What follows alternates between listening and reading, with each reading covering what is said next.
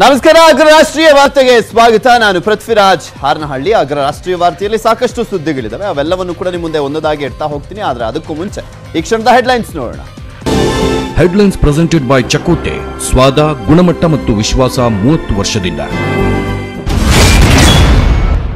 ಯಾರು ಬೇಕಾದ್ರೂ ಕಾಂಗ್ರೆಸ್ಗೆ ಬರಬಹುದು ಬಾಂಬೆ ಟೀಮ್ಗೆ DKShi welcome offer. DK offer ಬೆನ್ನಲ್ಲೇ ನಾಳೆ ಬಿಜೆಪಿ ಸೇರ್ತಿದ್ದಾರೆ ಮುದ್ದ ಹನುಮೇಗೌಡ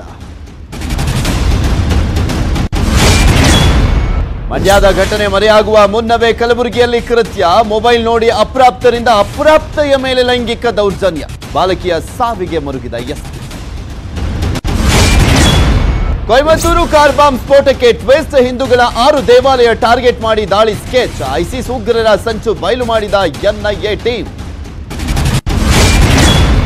ಚೆನ್ನೈನಲ್ಲಿ ಎಪ್ಪತ್ತೊಂದು ವರ್ಷದಲ್ಲೇ ದಾಖಲೆಯ ಮಳೆ. ವರ್ಣಾರ್ಭಟಕ್ಕೆ ಇಬ್ಬರು ಬಲಿ. ಒಂಬತ್ತು ಜಿಲ್ಲೆಗಳಲ್ಲಿ ಶಾಲಾ ಕಾಲೇಜಿಗೆ ರಜೆ. ಇನ್ನು ಒಂದು ವಾರ ಗುಡುಗು ಸಹಿತ ಮಳೆ ಮುನ್ಸೂಚನೆ.